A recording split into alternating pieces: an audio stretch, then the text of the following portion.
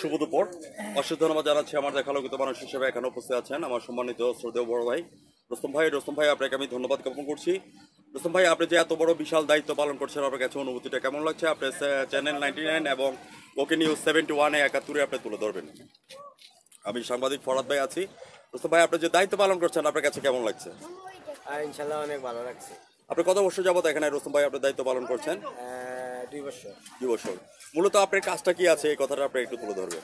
আমি একজন ইজা ইজারাদার হিসাবে এখানে আছি। এখানে ইজারাদার হিসাবে আছেন। এখানে যে ইজারাদার হিসাবে আছেন এখানের মধ্যে আপনারা মানে মানে এই যে লঞ্চ ইয়াগুলি যাচ্ছে এগুলি আপনারা কি হিসাবে মানে তাদের সাথে লেনদেন করছেন? হ্যাঁ এটা গাড়িটা কোনো পণ্য উঠলে সেটার একটা টাকা আমরা হ্যাঁ মানে এই পণ্যটা মানে মানে প্রোডাক্টটার কত টন বা কতটুকু কতটুকু কি ওটা আসে বিষয়? কোনো ইয়া নাই। এটা কত করে নেওয়া হচ্ছে আপনার? এটা নির্ধারিত কোনো ইয়া নাই এটা আপনার যারা নেয় তাদের সাথে সমঝোতা করে টাকাটা রাখা হয়।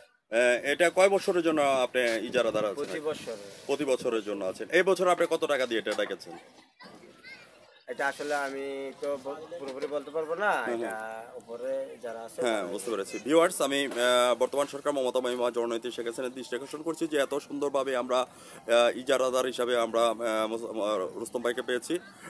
রুস্তম ভাই এই যে আপনি একটা কথা আছে যে পার্শ্চান্ত দার্শনিক রাশিন বলেছেন এই পৃথিবীতে মানুষের তিনটি কর্তব্য রয়েছে।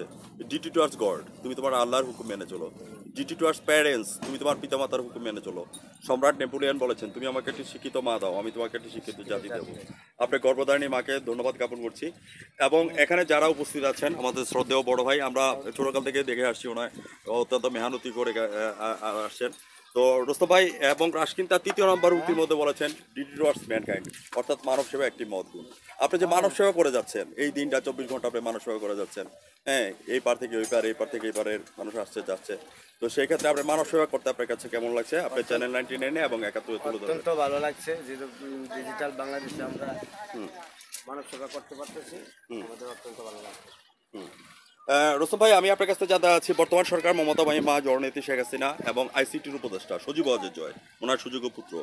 ডিজিটাল বাংলাদেশ সম্পর্কে বলেছেন দুই হাজার একুশ থেকে একচল্লিশ সালের মধ্যে আমাদের দেশটা ডিজিটাল বাংলাদেশে পরিপূর্ণ হবে তার ধারাবাহিকতা রক্ষা করার জন্য আজকে আমরা কিন্তু ডিজিটালের দ্বার প্রান্তে চলে আসি এই যে এখানে যে কথা বলছেন আমার শ্রদ্ধেয় বড় ভাই উনি কিন্তু অলরেডি ডিজিটালের মধ্যে মোবাইলের মাধ্যমে আপনার সাথে ভিডিও কনফারেন্স আপনার সাথে কথা বলে ফেলেছে এটা কিন্তু একটা ডিজিটালের মতো হয় তো ডিজিটাল বাংলাদেশে ভীষণ টোয়েন্টি ওয়ান ফোর্টি ওয়ানকে সামনে রেখে রোস্তম ভাই আপনি ডিজিটাল ছোঁয়া কি কি দেখতে পাচ্ছেন? আপনার কাছে কি কি দেখা পড়ছে আপনার কাছে আমরা ছোটকাল থেকে যা দেখে আসি তা থেকে অনেক অনেক কিছু অনেক কিছু হ্যাঁ যেমন মনে করেন যে কিছু একটা উদাহরণ দেন যেমন যেমন মনে করেন যে আগে টাকা পয়সা লেনদেন করতে গেলে অনেক ইয়ে করতে হতো।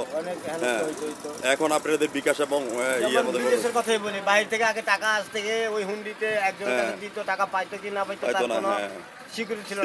এখন এক মিনিটের মধ্যে আমরা টাকা সেকেন্ডের মধ্যে সেকেন্ডের মধ্যে ভিউয়ার্স রুস্তম ভাই যে কথাটা বললেন যে আগে হুন্ডিতে মাধ্যমে বিদেশ থেকে টাকা আসতো এবং হুন্ডির যে দালাল চক্র এই দালাল চক্রের মধ্যে লক্ষ লক্ষ টাকা এই হুন্ডিরা মেরে খেয়ে ফেলতো। এটার কোনো একটা দিক নির্দেশনা ছিল না। এখন উনি বলতে আছেন যে বর্তমান সরকার যে ডিজিটাল বাংলাদেশ করেছেন, এই ডিজিটাল বাংলাদেশের ক্ষেত্রে উনি ধন্যবাদ জ্ঞাপন করেছেন আমাদের বর্তমান সরকার মমতাময়ী মা, জননেত্রী শেখ হাসিনাকে এবং তার পুত্র সজীব আজাদ জয় সাহেবকে ডিজিটাল বাংলাদেশের ভীষণ টোয়েন্টি ওয়ান ফোর্টি ওয়ানকে সামনে রেখে উনি ধন্যবাদ জ্ঞাপন করেছেন।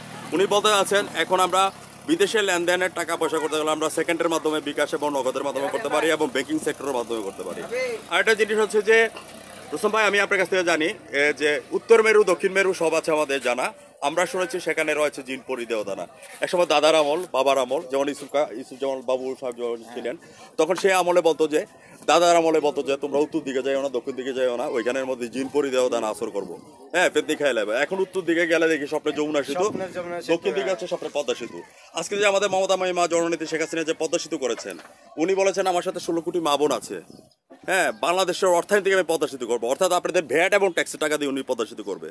আজকে চ্যালেঞ্জের মোকাবেলা করে যে আজকে ভ্যাট এবং ট্যাক্সের টাকা দিয়ে আজকে পদ্মা সেতু করেছে আপনার কাছে অনুভূতি কেমন লাগছে একজন বাঙালি জাতি হিসাবে? রুস্তম ভাই। খুবই গর্বিত। গর্বিত। এবং পদ্মা সেতু যে- আপনি জানেন আমরা ইতিমধ্যে আমাদের যোগাযোগ এবং সেতু মন্ত্রী ওবায়দুল কাদের স্যার আমরা one two forty two span already done করেছি। বিয়াল্লিশটি স্পেন ডান হয়ে গেছে।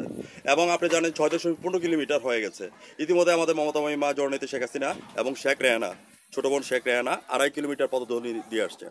পদ্মা সেতু যখন আমাদের চলমান হয়ে যাবে তখন আমাদের সুযোগ সুবিধাগুলি কি হবে? রোস্তম ভাই আপনি এই কথাটা একটু তুলে ধরবেন। এক কথা হচ্ছে আগে যেমন পণ্যবাহী ট্রাকগুলা এগুলা এই এই মাওয়া ঘাটে অনেক সময় লেগে। সময় লাগতো অনেক ব্যবসায়ী লস হইতো। এখন এক নিমিষেই ঢাকা পৌঁছে পারবে বিভিন্ন সারা দেশে পৌঁছাতে পারবে। হ্যাঁ। সেকেন্ডের আমরা উপকৃত হবে হ্যাঁ। আমরা জনগণ উপকৃত হবে। এবং এই পদ্মা সেতুর ট্যাক্সের টাকা দিয়ে আরেকটা পদ্মা সেতু আমরা নির্মাণ করতে পারব। কি বলেন? হ্যাঁ হ্যাঁ এবং আমরা বঙ্গবন্ধু স্যাটেলাইট উদযাপন করেছি যার ধরুন আজকে আপনি সরাসরি আপনি আজকে চ্যানেলের মাধ্যমে কথা বলতে পারছেন। এটা কিন্তু আরেকটা বিশাল কিন্তু একটা আমাদের হ্যাঁ হ্যাঁ অধ্যায়। হ্যাঁ এটা এটা কিন্তু একটা আলোকিত বিষয়। আমরা এটা কোনোদিন কল্পনা করি নাই। এক সময় একটা কোটি মোবাইল হ্যাঁ যেটা আপনার Nokia three three one zero model তখন এটা একুশ একুশ হাজার বাইশ হাজার টাকা ছিল। এখন আমরা বাই ওয়ান গেট ওয়ান পাঁচশো সাতশো টাকা দিয়ে মোবাইল কিনতে পারতেছি। সিম তো মনে করেন যে একেবারে বিনামূল্যে পাচ্ছি। আমরা কথা বলতেছি এখন এই এই সুযোগগুলো তো ছিল না ছিল না। এবং সারা বিশ্বে মনে করেন যে আপনার কথাটা এখন দেখতে পাচ্ছেন। ঠিক আছে? তো সেক্ষেত্রে আমি আপনার কাছ থেকে জানতে চাচ্ছি যে অক্লান্ত পরিশ্রম করে যে হাঁটিটি পাপা করে যে আজকে আপনি এই প্ল্যাটফর্মে আসছেন।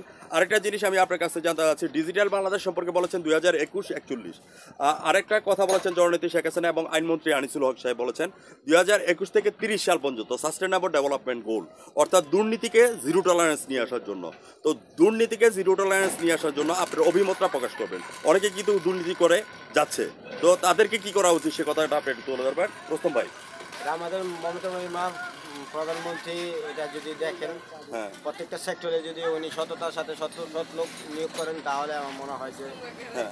আমরা জিরো জিরো টলারেন্স নিয়ে আসতে পারব এবং দুর্নীতিগ্রস্ত দেশ আমরা মুক্ত করতে পারব এবং মাদক কিডনিজিং বাল্য বিবাহ এগুলিকে আমরা দূরীভূত করতে পারব।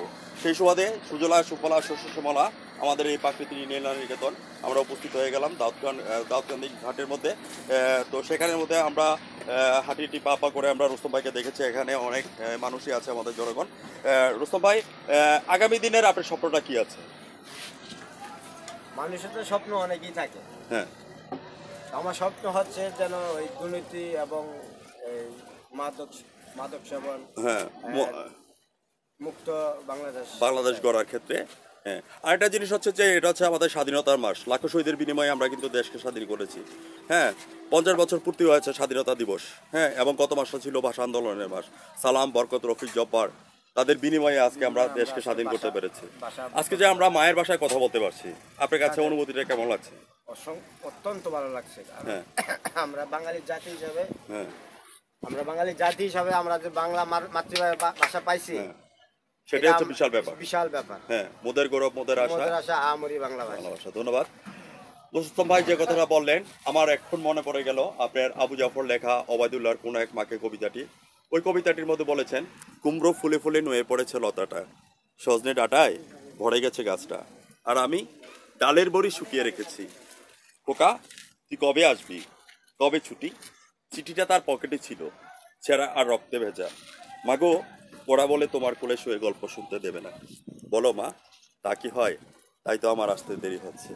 তোমার জন্য নারিকেলের চিড়ে কেটে মুরকি ধানের মুরকি সেজে, এটা, সেটা আরও কত কি? তার খোকা যে বাড়ি ফিরবে, ঝাপসো চোখে, মাতাকায়, উঠোনে উঠোনে, যেখানে খোকার সব শকুনিরা ব্যবচ্ছেদ করে। আবু জাফর আবায়দুল্লাহ লেখা কোনো এক মাকে কবিতাটি।